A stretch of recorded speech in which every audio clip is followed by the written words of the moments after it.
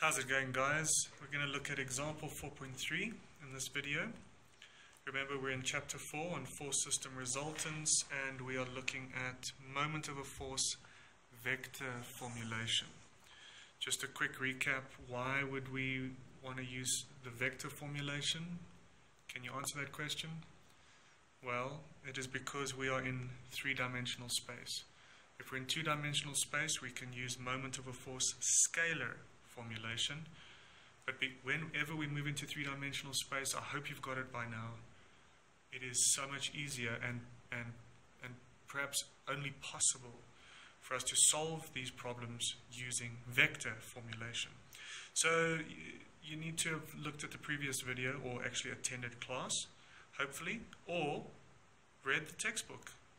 That is a quite a novel idea, reading your textbook. But I highly recommend it. Um, reading your textbook is uh, it's suggested.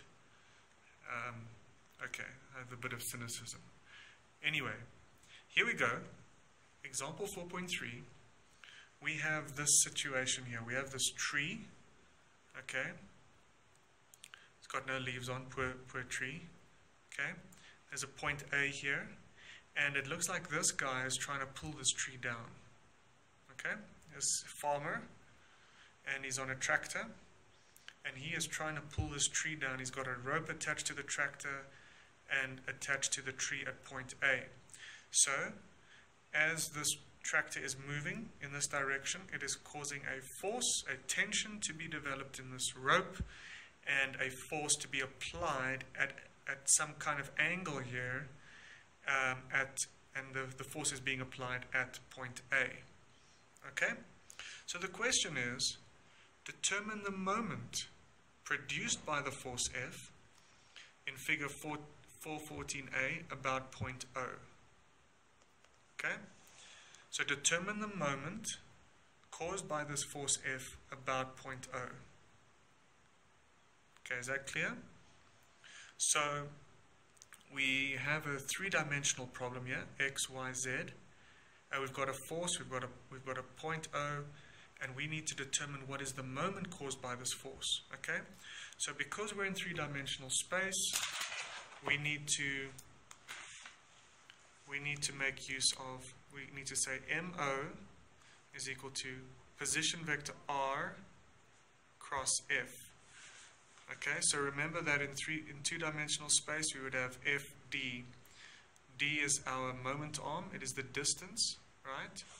Again, if we've got our force there, got point O, D would be the distance from the point, perpendicular distance from the point to the, to the line of action. Okay? So that's in two-dimensional space. That's what my D is. It's my perpendicular distance from point O to the line of action of F. However, when we're doing the vector formulation, R is a position vector, number one, and it is, remember this, please remember this, I'm begging you. From O, R is what? It's a position vector from O to any point along the line of action of the force F from O, remember this is in a, a three-dimensional problem, from O to any point, any point, okay, I've said it now quite a few times, any point. When I say any point, we mean any point along the line of action of F. Okay? So let's have a look now. So we're trying to calculate what the moment is we need a position vector r, and we need a position, and we need our, our we need both of them in Cartesian vector form. So before we get to r, let's just quickly have a look at f. Um, actually, no. Let's, the textbook first looks at r. Okay. So if you have, here's the drawing. There's my y. There's my x. My z, and the tree is is up there. Okay, there's its branches. And we've got point A, There's point A there. And A, the height is 12 meters. Okay, so so the coordinates of A are what? It's going to be 0, 0, 12, right? That's the coordinates of A. And that's meters. So 0 in the x, 0 in the y, but 12 in the in A. Okay, so there's a point A. And then what we see, what we see here as well, is we have another another point that we know of, which is where the tractor is. And this has a, an x component of 4 and a y component of 12 and a z component of 0. Okay? So there's a point here in the xy plane that is 4 meters and that is 12 meters. Okay? Now remember what I said was we, we've got so we've got this force coming down here like this. Okay? There's our force, F. And it says it's equal to 2 kilonewton. And there's our point O. What is the moment caused by this force about point O? So now the first step is we want to find our position vector, which is R. It is from point O to any point along the line of action of F. And here's the line of action of F. And what you can see is we've got two points, A and B, that are along the line of action of F. So, if I choose R, OA from O to A, can you see that, what is a position vector again? It just simply tells me how do I get from that first point to the second point, right, in meters. I go 0 in the x, 0 in the y, and I go 12 in the k. Right? That's my ROA. And what is ROB?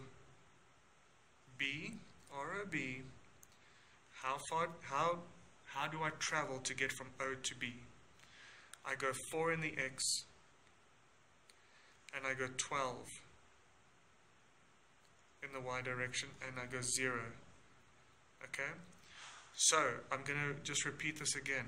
My position vector is any vector from point O to any point along the line of action of, of f. So, based on, on what we've said here, either of these two vectors, position vectors, will work.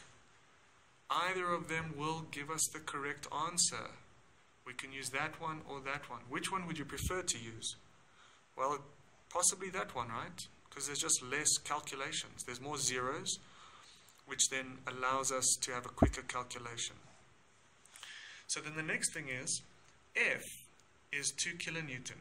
My question to you is, is this F in the correct form? No, it is not. It, this is, all we have now is the magnitude of F.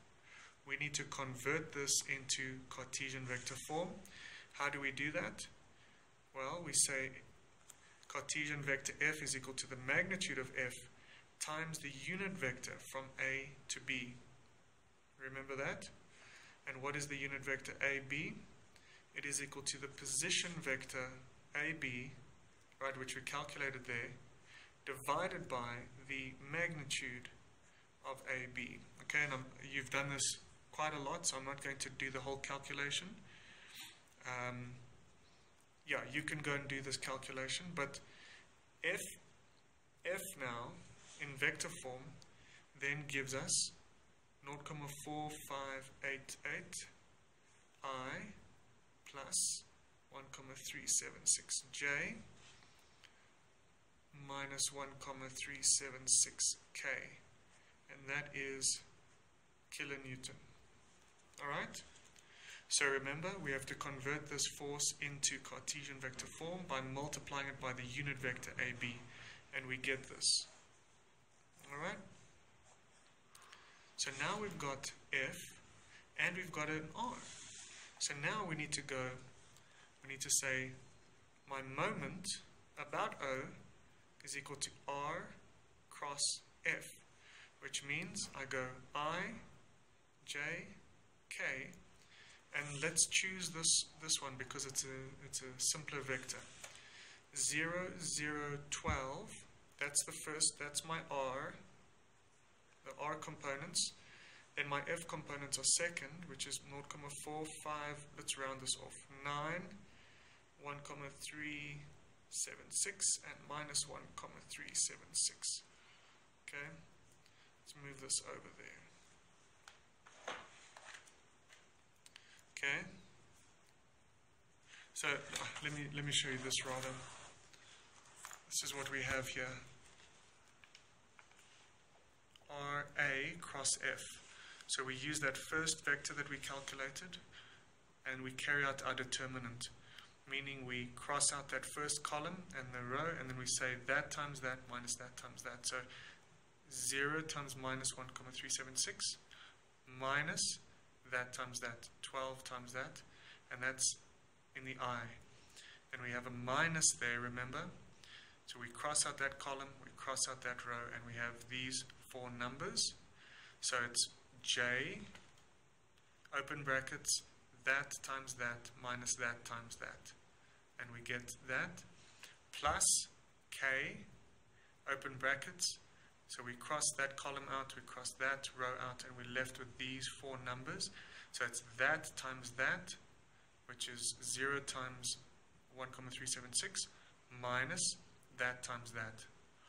And we end up with this answer here, minus 16,5i plus 5,51j. Now what you notice here is if I used this other vector, this other position vector, and I carried out the cross product, I get exactly the same answer. Okay? So remember that R, the R in the R cross F, is from point O to any point along the line of action of the force. So what we found with two points, A and B, we got a position vector R, ROA and ROB, and they both gave us the correct result, or the, I mean the same result. Okay? They both gave us the same result. Now, I just want us to come again to, so we're getting, we've, we've now gotten this answer, right? MO is equal to minus 16,5i plus 5,5j Newton meter. Again, guys, because this is where it all boils down to. What does this mean? What does this mean?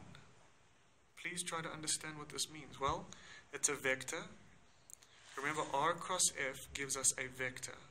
r cross f, the cross product gives us a vector. Here we've calculated that vector. What is the magnitude of this moment? The magnitude is 16,5 squared plus 5,5 squared square root, which equals what? 16,5 squared is 5,5 squared square root gives me 17,39 kilonewton. That's the magnitude of, of my moment. Okay? That's the magnitude, that's the size. But now, what about the direction? I've, really tried to explain this a lot now. Um, here's, a, here's a nice picture in the textbook. That direction, okay, remember this gives you, that moment is minus 16,5 plus 5,5j. And there, what you notice here, there is that vector. That, that's a vector minus 16,5 in the x, so we go minus 16,5 in the x, i, right? And then plus 5.5j. And so we get this vector in the xy plane. We stick our thumb in the direction of that vector and we curl our fingers around it like this, right? Like that. So this vector here is a vector that is perpendicular to the plane of f and r, and it is also the axis about which this moment is acting. The sense of the sense of rotation about this axis. Okay? So and, and just logically look at it. If I'm trying to pull this down and it's rotating about there, can you see that it does want to rot- it want, wants to rotate like this? So put your thumb in the direction of this resultant vector. So you go 16,5 and then minus x. Go 5.5 positive um, y. And you draw the vector from O in that direction. You, your thumb is then in that direction, and this gives you the center rotation. Okay? So hopefully that was helpful. Um, I think that's all. Thank you.